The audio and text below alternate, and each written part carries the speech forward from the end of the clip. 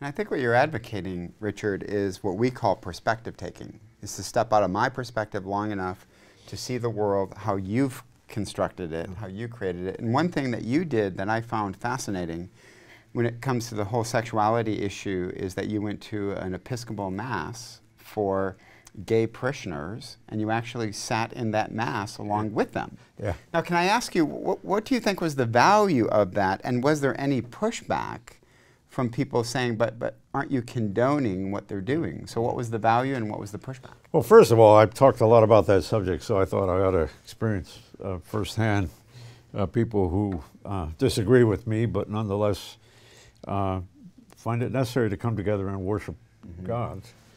And so I thought I could sit in the back, but when I got there, uh, uh, all the back seats were taken, and I, I, could do nothing but sit in the midst of what was largely a, a gay lesbian audience, congregation. And when the, the two things that just overwhelmed me was one, uh, we, we uh, prayed Psalm 139. Mm. Uh, when I was in my mother's womb, you knit my parts together. To, to hear people around me saying, uh, it's God who, who knit me together as a, as a human person. But then at a certain point when um, we had the prayers for the dead, which I'm not used to, but, uh, and, and the priest said, you know, a lot of you have lost people to um, HIV/AIDS, mm-hmm. um, and uh, just speak out the name uh, of, a, of a person whom you have loved uh, who died of HIV/AIDS, mm-hmm. and um, it began with just a, a kind of simple uh, Marlene or Harry. And pretty soon it became thunderous, and people were sobbing. And I thought, you know, these are grieving people. These are people who've experienced tremendous loss. And uh, I felt a solidarity with them, uh, a bonding with them in their, their sobbing. That uh, if I'd been arguing with them about their views or, or, how do you interpret Romans 1 or something like that, it would have been a very different experience. Yeah. But uh, there was something wonderful about that. And I experienced that as a gift. I didn't change my theology or my ethics, mm-hmm. mm-hmm. um, but, uh, but to see their humanness, I think, is a very important thing one way to think about what happened there is you were drawn further deeper into empathy. Yeah. Mm-hmm. And you've written about the importance of empathy along with other uh, civil attitudes, as you call them. Uh, talk some about the other attitudes you think that we ought to be seeking to cultivate so that we can um, do better at civil discourse. Yeah. Well, I mean, I, first of all, I do think empathy is fundamental because uh, the incarnation is all about empathy. You know, the Epistle to the Hebrews says that he, he knows what it's like to be us uh, because he suffered in the ways that we're, we've suffered. He tempted in the ways that we've been tempted.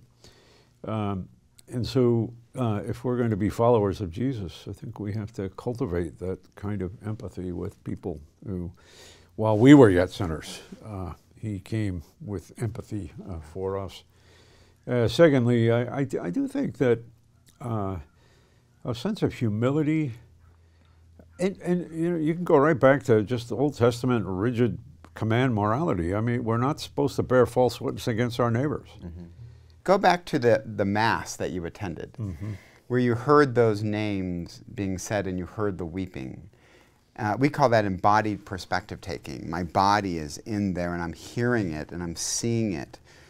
Uh, that deeply resonates with me, but I, I can hear the objections and the objections would be something like, yeah, but Richard, your presence there condoned it.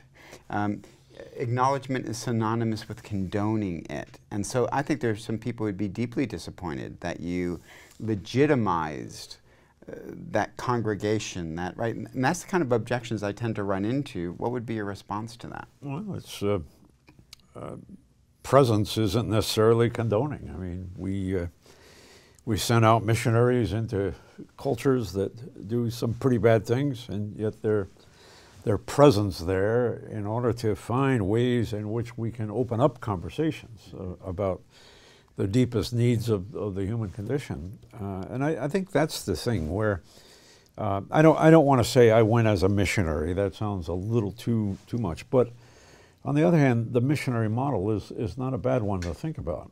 Uh, uh, I'm part of a denomination now where people are getting out because uh, they disagree with decisions that have been made in that denomination. And um, I, I respect, uh, you know, the sense that God is calling people to do various things. But, uh, you know, if, if, if you were sent as a missionary to a, a, a, a Hindu village, and uh, you discover that they were doing things there that you really really bothered you, uh, you wouldn't leave because of that.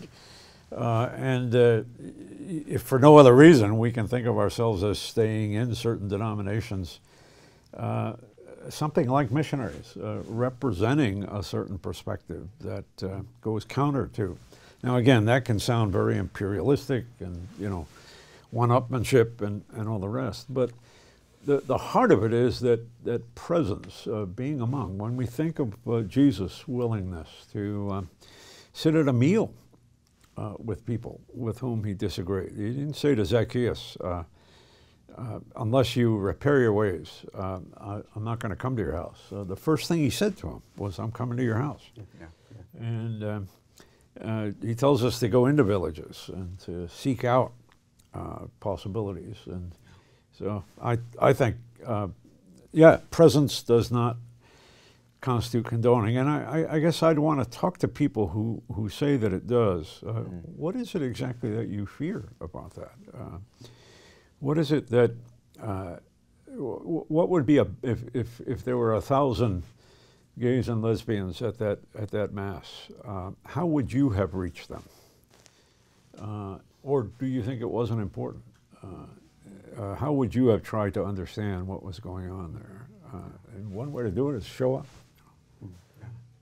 Barbara Myerhoff is a communication theorist who has a great quote. She says, unless we exist in the eyes of others, we come to doubt our own existence. And I think, Richard, what happened was those people existed in front of you and you acknowledged their pain, their sorrow, and I think I think we could get a lot more of that today in our civil discourse of reaching out to people outside the Christian community.